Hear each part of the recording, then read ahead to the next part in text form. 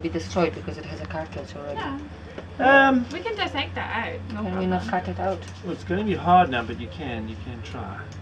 Maybe what we should do is because this one is Or you could use it to show people. This is how it attaches to the cartilage. well, we've got that upstairs. What's this for?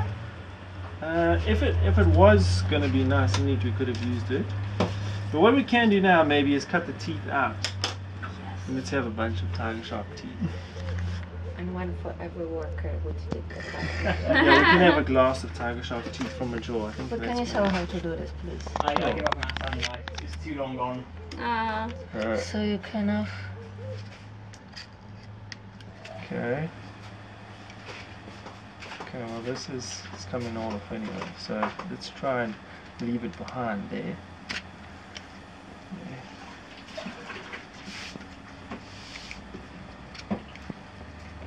Okay.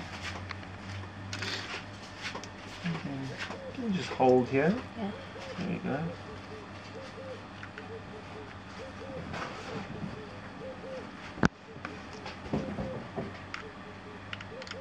that's hard. Is that? Teeth? No. Mm. See, That is gotta try and get. There's a hole there. That that is right. What you've done there, this part coming Mhm. off of the jaw. Is it, it just for me it was easier to cut